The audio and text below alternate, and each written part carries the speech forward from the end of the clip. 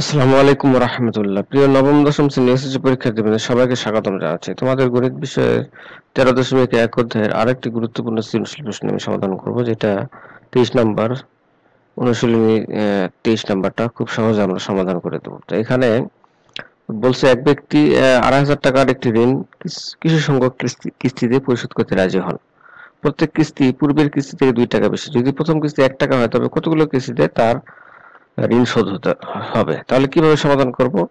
তাহলে বলছে যে কতগুলো কিস্তিতে ওই ব্যক্তি তার ঋণ পরিশোধ করবে? তাহলে আমরা মনে করি তিনি এন সংখ্যক কিস্তিতে ঋণ পরিশোধ করতে পারবেন। তাহলে এখানে প্রথম কিস্তি এক টাকা, সুতরাং দ্বিতীয় কিস্তি এক যোগ দুই সমান সমান তিন টাকা, কারণ প্রত্যেক কিস্তি পূর্বের কিস্তি থেকে দুই টাকা বেশি। প্রথম কিস্তি যদি এক টাকা হয়, তাহলে পূর্বের পরের কিস্তি হবে এক যোগ দুই। অর্থাৎ তিন টাকা। এরপরের কিস্তি হবে তিন যোগ দুই অর্থাৎ পাঁচ টাকা। তাহলে কিস্তির ধারাটি আমরা পাবো one plus three plus five plus seven plus dot dot এভাবে চলবে। তাহলে এখানে ধারাটির প্রথম পদ এ সমান ওয়ান সাধারণত ডি সমান হচ্ছে যে কোনো সংখ্যা তার আগের সংখ্যা বিয়োগ সাধারণত ডি পাওয়া গেল। তাহলে প্রশ্ন মতো এস সমান টোয়েন্টি ফাইভ, অর্থাৎ এখানে ধারাটির সমষ্টি যেটা হবে সেটার অর্থাৎ এখানে এন এর মান বের করতে হবে। তাহলে আমরা জানি এ ধারাটির সমষ্টি n by two is equal to two A plus N minus one into D is equal to আড়াই হাজার টাকা। তাহলে এইটা সমাধান আমরা করব। এবার এ এবং ডি এর মান এখানে বসিয়ে দিই। তাহলে পরের লাইনে এর মান এখানে ওয়ান ডি এর মান টু তাহলে ক্যালকুলেশন করি।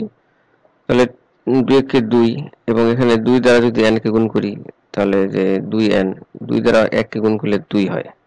এবং এটা এটা প্লাস মাইনাস কাটাকাটি যায়। তাহলে এখানে N by two into two N থাকে। N by two into two N তাহলে এখানে এই টু টু আবার কাটা যায় এন এন গুণগুলো হয় এন স্কোয়ার তাহলে N square is equal to আড়াই হাজার, অর্থাৎ দুই হাজার পাঁচ পঁচিশশো।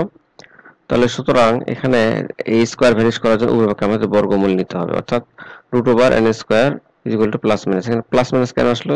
স্কোয়ার করলে বা রুট করতে গেলে আমাদের অবশ্যই একটা প্লাস মাইনাস চিহ্ন দিতে হয়। তাহলে সুতরাং এন এর মান equal to plus minus five hundred যেহেতু কিস্তি ঋণাত্মক হতে পারে না, সুতরাং এন এর মান হচ্ছে পঞ্চাশ। এই কিস্তি ঋণাত্মক হতে পারে না বিধায় এই মানটা আমরা অ্যাকসেপ্ট করব না। তাহলে আমাদের কিস্তির পরিমাণ হচ্ছে পঞ্চাশটি। তাহলে পঞ্চাশটি কিস্তি দিলে সে আড়াই হাজার টাকা পরিশোধ করতে পারবে। তাহলে অ্যান্সার এখানে পঞ্চাশ। আশা করি তোমরা বুঝতে পেরেছ।